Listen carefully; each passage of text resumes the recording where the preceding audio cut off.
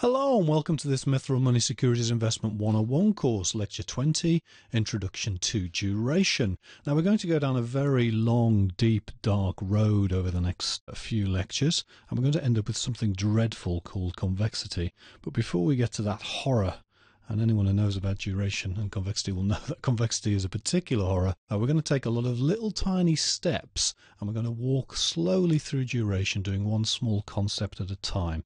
Now, before we do that, I'm going to give you a choice of three different bond products and they're going to be delivered to you over five different years. There's years one to five there. We have a lump of money coming to you in one year's time, and that lump of money is cunningly $683.01. We have another possible lump of money coming to you in three years, and this lump of money is slightly more. This is remarkably $826.45.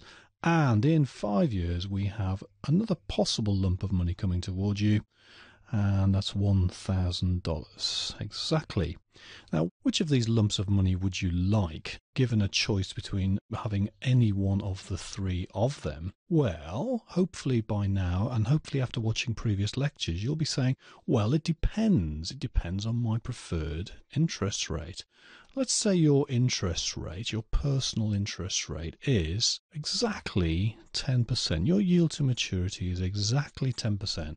Which of these three bonds are you going to choose if I offer you one of them for free? Well, it won't actually make any difference because if I present value all of these uh, three bonds, they will all come back at a yield to maturity of 10% at $620 and change, or $620.92. So if I present value the first one at 10%, it comes back to that. If I present value this lump of money back to today, or right now, or T0, it also comes back to exactly the same sum. It comes back to $620.92.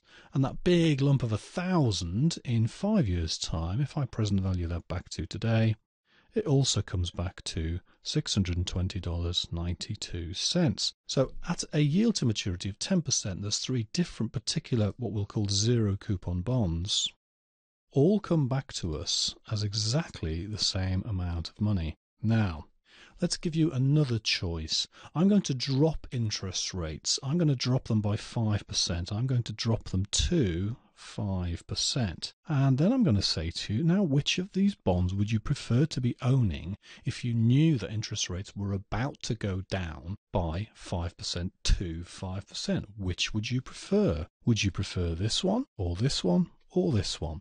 To work that out, we need something called duration and, and, understanding the ideas of duration to figure out which of these three we would like to have. Now, we need to get to a spreadsheet now to get to some mathematics and so on. So let's do that now. And here's a spreadsheet I prepared earlier. You can see I've got a yield to maturity there of 10%, and I've got my three prices coming back. There's my thousand in five years' time.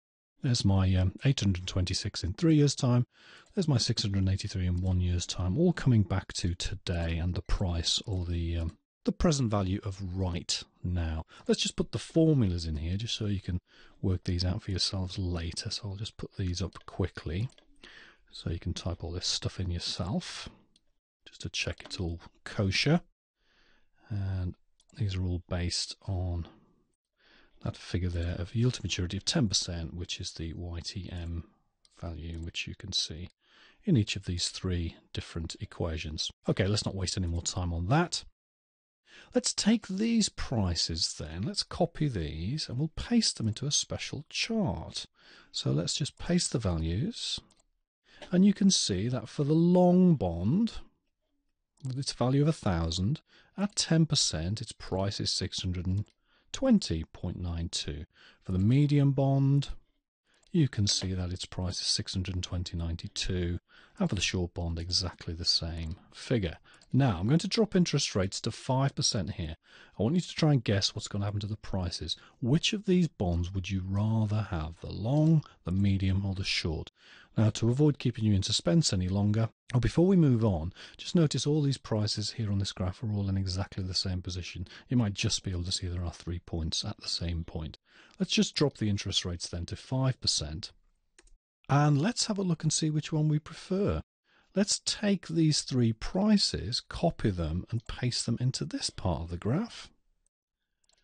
And lo and behold, you can see, you're probably ahead of the game, some of you, that 783 is the one you want. You paid 620 for this bond because you knew interest rates were going down, and the next day interest rates went down by 5%, and now the bond went up to $783. You've made about uh, $163. Well done, you.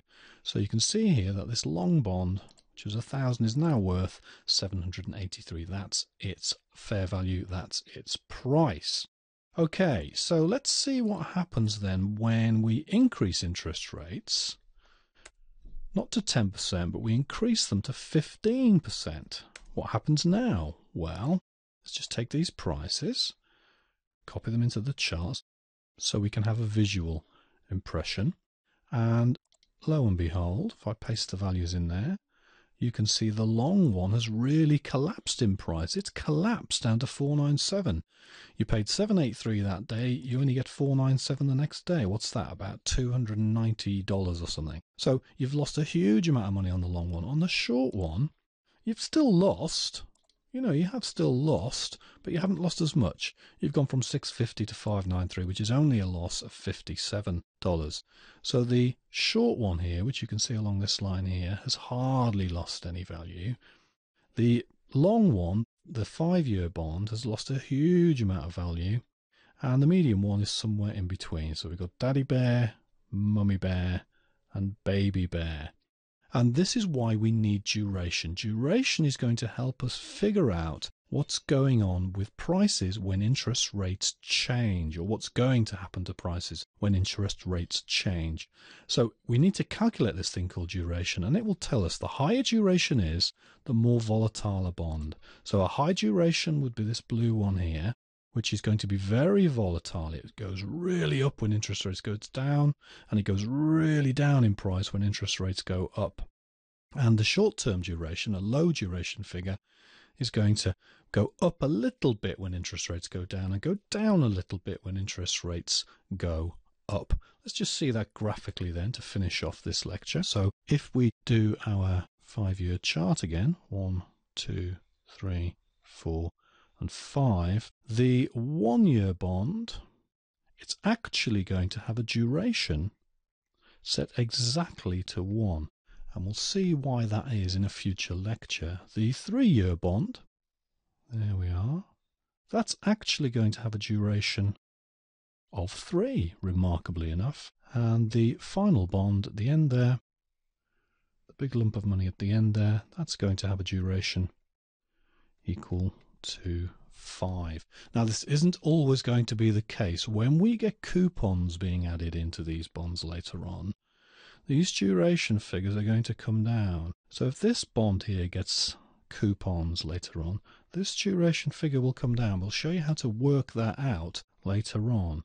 And again, this bond gets coupons, the duration figure will come in. But the lesson to take away from today, take this lesson away. If the duration is small, let's say it's only equal to 1, then the volatility of the bond is very small. It's a kind of baby bear volatility.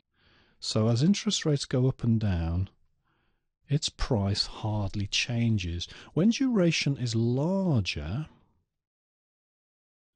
and it is a time related measure, volatility is going to be slightly higher. It's going to be a mummy bear kind of volatility. Okay, here's mummy bear here. Very pretty there. Very pretty mummy bear. And when duration is higher, so when duration is large, let's say five years, it's going to be daddy bear volatility. Its price is really going to swing round. Here's daddy bear here, very gruff looking daddy bear. Very angry looking daddy bear. He's got one of his ears bitten off in a fight. So the bigger duration is, which is a time related measure to do with bonds and other kind of cash flow payments, the higher the volatility of the price. When interest rates go up, then this price is going to go really down. And when interest rates go down, price of this thing is going to rocket up. Uh, and there's going to be much smaller effects with much smaller durations. Anyway, I think that's enough for now. See you next time.